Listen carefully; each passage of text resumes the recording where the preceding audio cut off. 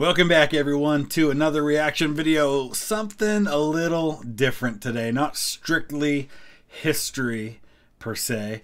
Uh, but I've always been a big fan of, there's a couple of travel channels I just really, really enjoy. Wolters World is one.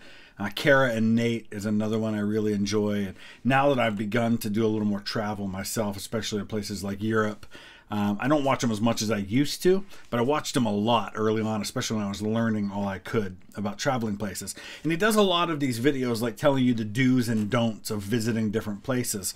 And I stumbled upon the fact that about four months ago, he did one on the don'ts of visiting Ohio. I haven't watched it yet, but I'm very curious to see how somebody who isn't from Ohio portrays us and talks about the don'ts. And I need to recognize up front, and I don't know what all he'll talk about, but understand Ohio's a big place. We're a small state compared to some states like we're not Texas or California or Alaska.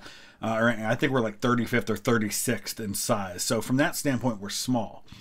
But comparatively speaking to say nations in Europe, we're pretty big. Uh, Ohio's bigger than Scotland and you know some from one end of ohio like where i live to get down to say cincinnati is like four four and a half hours. And the culture south of columbus is so incredibly different than the culture say here in northeast ohio. Northeast ohio we're more of like the yankee culture. We're more probably associated with like pennsylvania new york maryland Virginia than like Northern Virginia than we are with Southern Ohio. Southern Ohio, you get past Columbus, it's a southern accent. Like people talk like they do in Kentucky. Um, the culture's very different there. It's very flat there, where it's very hilly where I live. Um, lot of differences. So I'm curious to see what he has to say. I'll put the link in the description if you want to check out his channel. He's got stuff on pretty much every place he's been. He's been traveling for decades. It's pretty interesting stuff. So thought I'd do something a little different, a little lighthearted today. And you guys know how much I love to talk about my home state of Ohio. So let's dive in and see what he's got to say. Hey there, fellow travelers. Mark here with Wolters World, and today we're here in Dublin, Ohio. Dublin, as outside of Columbus. Of visiting Ohio, and I thought a field of corn is a perfect place to begin our video. And my first don't for you when it comes to Ohio is something that you don't just have to worry about when you're in Ohio, but when you travel. I like that they're showing Wendy's. Wendy's is from Columbus. That's where Wendy's originated. Arby's originated here in the Youngstown area. Uh, so those are our two contributions to fast food. That and uh, they have Skyline Chili down in the southern part of the state, but we don't have that up here. Around the world, and you see people from Ohio, and that is, don't freak out when people make a small flash mob when they hear OH and then IO. For- that is definitely a thing that we do. Absolutely. One of the unique things about Ohio, okay, when it comes to sports, pretty much the entire state are Ohio State fans. Now there are uh, fans of other teams, like there's Michigan fans that live here, things like that. But pretty much everybody in the state of Ohio is an Ohio State fan. They're also a fan of whoever their local university is. So like here we have Youngstown State. So where my wife and sister both went to school. Um, so we, you know Youngstown State won some national championships in the football championship subdivision. Um, so we're YSU fans, but we're also Ohio State fans.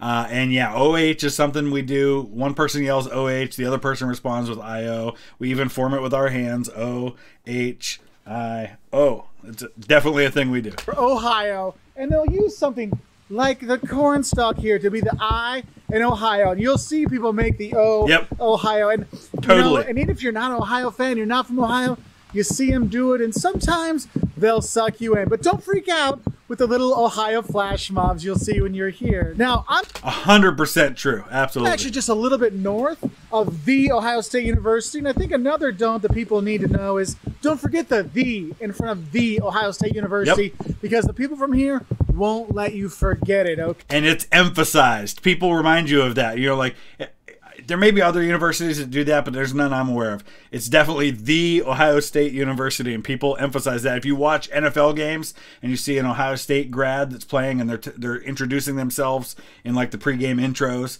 a lot of them will say the Ohio State University. Okay, and, and I think another thing is important, one that I really needed to know, and I really forgot when I got dressed this morning is don't wear blue and yellow when you come to Ohio because those colors are not cool, especially if you're in Columbus and near the Ohio State University. because nobody likes Michigan. And yes, I know those Michigan fans will say, actually, it's blue and maize. Look, And we don't even say that team name. I know I did earlier. We call them TTUN, the team up north. Nobody cares, Michigan. Nobody cares. But just know, if you're stationed in Columbus, you're wearing blue, blue and yellow, it's not going to go over well. All right? Now, so far, everything's pretty Columbus central. There's a lot more to Ohio than just Columbus, but I get it. It's our largest city, it's our capital. right? So let's go see some more less rainy parts of Ohio, hopefully to I continue wondered what that our noise list. was. Now, another thing that you might worry about your teeth safety is don't worry about busting a tooth when you bite into a buckeye. So, if you're not sure what a buckeye is, when you're looking at the candy buckeye, I should say, is this is a treat from here in Ohio. Is that really unique to Ohio? I just assumed that was kind of a thing everybody did. Buckeyes, are, yeah, that's a big time thing that people do here. And I also found out recently that having a huge table full of cookies at a wedding is very unique to the Youngstown and Pittsburgh areas. So where I live, and then from here down about an hour to Pittsburgh. Basically, that's kind of the corridor along Interstate 76 where people do big cookie tables full of cookies, like thousands of cookies at a wedding. I just assumed everybody did that. And what it is, it's a peanut butter ball covered in chocolate, and it looks like a Buckeye, right? And and it's something that you will get a lot of places. I know I had a number of Ohio State grads that were my instructors back in college, and whenever Ohio State and Illinois played, they would always bring us Buckeyes to class. And since it was that time, and Ohio State kind of destroyed Illinois every time. We got to at least enjoy something from the destruction I'm not that really a fan our of Buckeyes, team got the- from the Ohio the State cookie. Buckeyes. So there is that.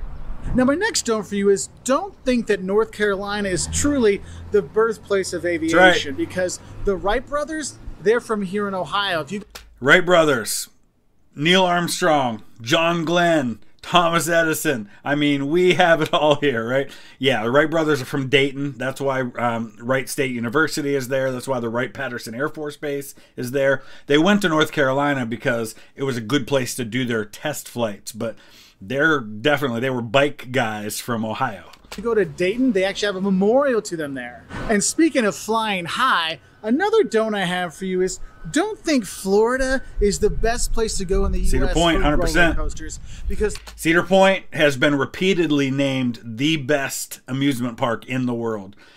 Absolutely. It's about two hours from here. Uh, if you grow up in Ohio, especially like northern Ohio, even Michigan, Indiana, Cedar Point's the place you go. It's where we went for our band trips. It's where we would go for after prom. It's where we go for our church youth group trips. Cedar Point was like the place to be. Tons of roller coasters there. It's the best amusement park for roller coasters anywhere in the U.S. Anywhere in the is world. Cedar Point because it seems like every year they're trying to make the tallest, the fastest, the the longest roller coaster possible. And I've been going there. Actually, I went there a ton as a kid. That was our summer vacation, going to Sandusky, going to Cedar Point, heading over to Cleveland, had going to Toledo. We did Ohio all the time, and that was the highlight was going to Cedar Point. So, so don't think you have to go to Florida for real roller coasters. Cedar Point beats them every time. And they actually have a pretty decent uh, amusement park down in, outside of uh, Cincinnati as well. It's called Kings Island. Not as good as Cedar Point. Now, another thing where you might think you need to go to another state to enjoy something is don't think the Christmas Story house is No, actually in Indiana because it's not. It's actually in Cleveland. You can actually do a tour of the house from A Christmas Story. You could even spend the night there. But do realize, don't think it's in Indiana. It's right here in Ohio.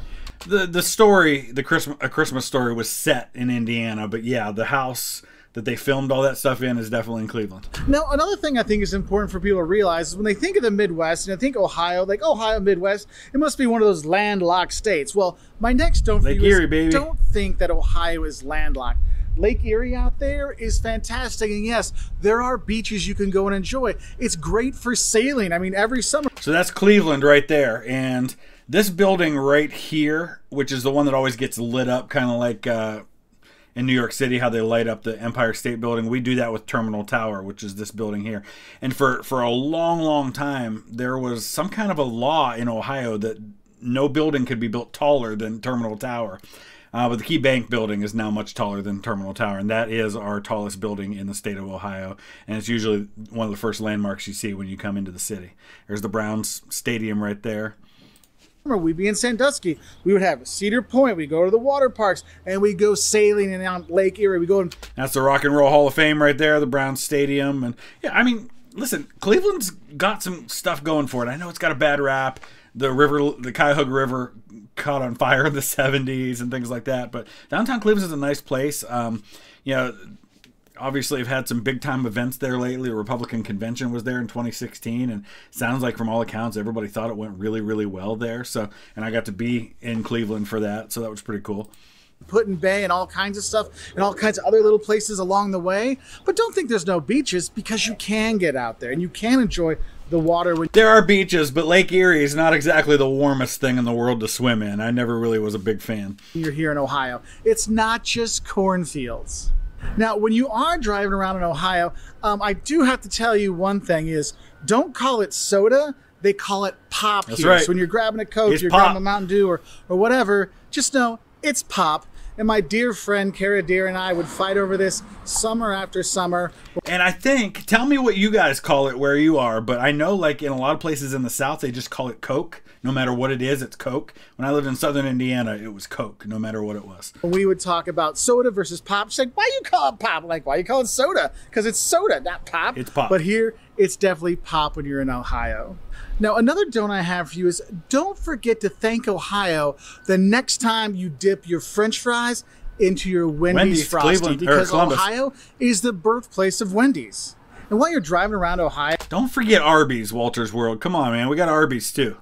and you're dipping your fries into your Frosty, I think there's another don't I have for you, and that is don't think that the roads won't get you when you're here in Ohio. Whether it's the potholes or the road construction or the cost of the turnpike, the roads here can get you. But what's cool is actually the drivers in Ohio are actually pretty good drivers. So it's not the Ohio people that drive you nuts when you're driving on the highway on 90 or whatever. It's like the people from Indiana that just park in the left lane and go over there. Yeah.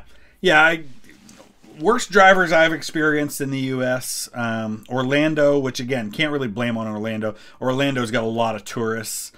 Uh, but Orlando, Boston, and northern Alabama, like in the Huntsville area, for some reason, always really bad drivers there.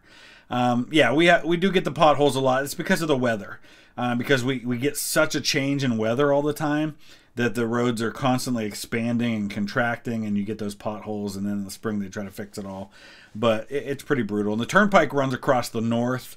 Uh, it's 76, and then it becomes 80 and 90 all across the north. Uh, we've got 71 that runs across the middle of the state.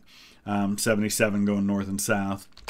Now, another don't I have for you come here is don't forget to bring some outdoor gear when you're here because there's state parks you can go visit. You can go all along the beaches and things. You can go to Hocking Hills State Park. Hocking Hills. I've never been to Hocking Hills. It's down in the southern part of the state, but I, I've seen amazing pictures and beautiful scenery there. Uh, waterfalls and you know cabins and really really nice place. Nelson Kennedy Ledges State Park. I mean, there's a national park that's right outside of Cleveland. Cuyahoga National Park. You can go there and you can hike on the ledges. So he was talking about Nelson Kennedy Ledges. That's like 40 minutes from my house, and I haven't been there since I was a kid, but it's pretty cool. take a train through there. You can do bike trails. I mean, there's a lot of state parks to go and enjoy and city parks to enjoy when you're here in Ohio. So don't think you're just going to be going Cincinnati, Columbus, Cleveland. No, go to some of those state parks, go to the national park this year and enjoy those as well. Now, whenever I travel, obviously food becomes an important thing for me. And one Don't don't, mention I have Skyline is Chili. Don't skip out on the ice cream. If you can get Graeter's ice cream or Jeni's ice cream. Now, there's the first thing I've heard that I don't know a thing about. I've never heard of either one of those. Now, Handel's is what we have here. Started here in the Youngstown area, uh, and I've heard stories of very famous Hollywood types who will get Handel's ice cream shipped to them. Um, but I've never heard of Jeni's or Graeters. ice cream. Those are the two Ohio staples, and they are really, Must be really, in another part of the really state. good. And yes, they do have a Buckeye flavored ice cream, so you can have that. I personally like their Samora one, but you know, I'm, I'm, I'm a Graeters guy. Some people are Jeni's people. I'm a Graeters guy. But honestly, you will have really good ice cream when you're here. Another food thing that people usually talk about when they come to Ohio is the chili. And my don't is. for you is don't get shocked when you see them pouring chili on top of spaghetti noodles and then topping it with cheese. Totally a Southern Ohio thing. That is a Cincinnati thing. We do not we do not recognize that. We do not claim that. I never understood that. Keys. That's Chili Three Way. And if you're in Cincinnati or by Cincinnati or other parts of Ohio, you'll see Skyline Chili. And people will tell you, oh, you got to get Skyline Chili. And and my, my don't for the chili thing, aside from don't be surprised that happens, is don't be upset if you're not a fan of Skyline Chili, because for as many people that have told me when we're going to Ohio, you had to have Skyline Chili, the same number of people said I don't really like it that much. So it's the same thing with there's this uh, this drink from it started out in Kentucky called Ale Eight, uh, and you know, my family's from Kentucky, but man, I just don't get it at all. And people, there are people that live around me that when they know somebody's going to Kentucky, they'll ask for them to bring a case of Ale 8 back with them, and I think it's gross. It is one of those things, but you should try it when you do come here. Oh, also, a side note if you're in Cincinnati, don't think that the Cincinnati airport is actually in Ohio. Cincinnati. It's actually in Kentucky. Another That's don't what we call that, you know, this is kind of a don't that really should go with any place you go, but don't diss Ohio to the locals. Look, the local people from Ohio, they'll say some bad stuff about Ohio, but it's like it's our state and we can complain about it. It's like when somebody makes fun of your brother and you're like gonna defend them, right? But then you can make fun of your brother, right? We're allowed to make fun of our own state, but you come here and criticize Ohio and make fun of it. Yeah, we will get offended, uh, offended by that. but you can't. So if you're in Cleveland, you say, "Oh, the mistake on the lake," they'll be like, "Nah, man, we're pretty cool." And honestly, Cleveland, when they say Cleveland rocks, it really does. Like Cleveland does. is awesome from the It's architecture. listen. I you've all probably heard bad things. Cleveland's it's not a bad city. I've been to most of the big cities in the United States. It's it's pretty nice these days. Really got a fantastic theater scene downtown. Uh, Playhouse Square is really nice. You got the Flats, which used to be kind of sketchy, but it's a lot better now. You got you know the Rock and Roll Hall of Fame and uh, the Brown Stadium and everything there. You've got the area around where the uh, Guardians and uh, the Cavs play, which is really nice there too. Sure, Rock and Roll Hall of Fame, um, the, the Christmas Story house is there. I mean, it's a really, really cool city. And you go around, Columbus is well worth visiting. I understand why anybody that went to Ohio State, anybody that's from Columbus, defends that city to the end because actually a really great place. And Ohio actually is a really, really nice state to visit with the cities to visit, the small towns you can go to. Heck, another don't for you is no matter what town you go to, don't skip out on eating at the local bar because you'll meet some locals, you get to talk to them, you get some great food, and it'll be really a Some of the best food where I live is at this little bar called the Ice House. It's good stuff, good food. part of your experience here in Ohio.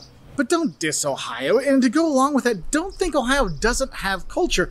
There are a number of world class museums and exhibits and places to visit when you are here in Ohio. If you're in Cleveland, the Cleveland Museum of Art has an incredible collection of art. Never you have the. Rock and Roll Hall of Fame that's there. if you're going down either. to Columbus, you got the Franklin Park Conservatory and the, the Botanical Gardens there that you can check out. The Center of Science and Industry is really cool. I mean, is really cool. The Center of Science and Industry. I went there a lot as a kid. Very neat place to visit. Columbus itself is just a really nice town to be. Visit the Ohio State campus. I mean, it's got some really, really wonderful places to visit here, and the museums and the sites. And heck, there's small town museums here. Here, here where I'm at right now, there's actually a Finnish Heritage Museum. You hmm. can gonna learn about the Finns of Ohio. It's unbelievable, but it's here, and so don't think there's not culture for you to visit when you are here in Ohio. And speaking of culture, when you are here, a lot of people like to go visit the Amish country when they are here in Ohio. And what you don't realize is as popular as Pennsylvania is with their Amish, there's actually more Amish people here in Ohio than there are in Pennsylvania. And the thing is, I don't know if that's true or not. I guess there's no reason for me to doubt that it is true.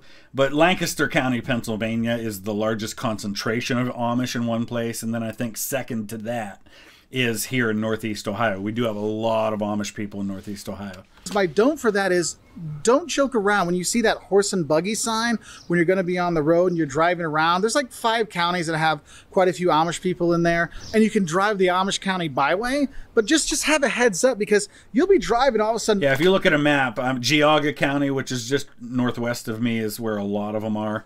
Um, it's just something we kind of accept, and, and we see Amish people all, all all the time. You know, you see them at Walmart and stuff, and um, they're just part of our community. I don't. It's not really that big a deal to us here because we just know that they're here. oh my gosh horse and buggy. So do take care when you are driving in Amish country, and when you're there, don't forget to pick up some furniture because man, they make some awesome furniture, and they have really good candies as well. So don't. And they're very involved in construction too. A lot of folks here hire the Amish to help with their construction because they're very, very good at it. Forget to stop off there as well and enjoy the Amish country. And my last note for you is don't worry about leaving Ohio hungry because when you come here, look, I know I talked about Skyline Chili and I talked about Wendy's, those are fast food things. But for me, coming to Ohio, there's so much great food when you're here, and there's a lot of different influences. Like if you're up, if you're you know you're by Cleveland, right? You have a lot of Eastern European influence. So mm. yes, the pierogies that are there, the Polish yeah. boy you're gonna have, the kielbasas just in general. I mean, there's a lot of really good Eastern European food. But when you travel around the state, the people have so much down around Columbus, very German influenced uh, in the in the Columbus area. A lot of German settlers were there. Pride in their state. I mean, that's another reason why you don't diss it because they are very proud of their state. The people take pride in their food and their their communities and their community bar and their community restaurants. So you actually eat really really well when you are here. So don't worry about eating when you are here because you eat very well. I mean, I'll be honest, Joss and I had the best shrimp and grits we've had north of the Mason Dixon line ever. And that was in Cleveland. So hmm. when you are here Not in Ohio, make sure you maybe add an extra, you know, hole on your belt a little bit that way uh, to enjoy a bit more of the tastiness, whether it's the ice cream, the chili, the pierogies, or whatever. And I really hope you have a great time here. Awesome. That was actually really well done. And for a guy who isn't from here, who travels all over the place and makes these kinds of videos about a lot of different places, he actually, I think, did pretty well with understanding Ohio and our culture and our places and things like that. That was pretty cool. So let me know your thoughts. If there's another one of these kinds of videos you'd like to see me do, use the comment section below and let me know. And what would you add? My fellow Ohioans, speak out. Uh, or people from other places who have visited Ohio, what was your experience like? What did you like? What did you not like? Let's talk about it in the comment section below. Thanks for watching.